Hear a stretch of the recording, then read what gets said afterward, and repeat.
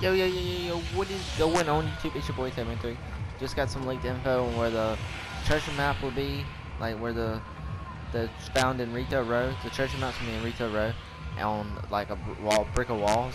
But the actual Easter egg treasure um,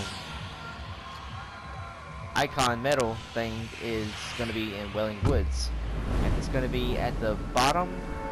If you're looking at the map, not at the point of view on the uh, at the playing the game, it's going to be on the bottom left corner of retail of Wailing Woods of the maze. So we're going to go there real quick, and I'm going to show you exactly where it's going to be at.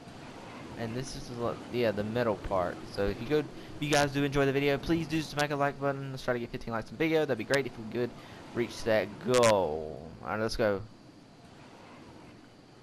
It's going to be right here. You gotta walk up to here and basically that's it. So, I mean, I'm, I'm going to go ahead and post in this because this leaked info got out. So it's going to be right here in case you guys want to know. And there's the map. So I hope you guys did enjoy. I hope you um, you have a great day as you get the new challenges for Fortnite. And I will see you guys in my next video. Don't forget to. If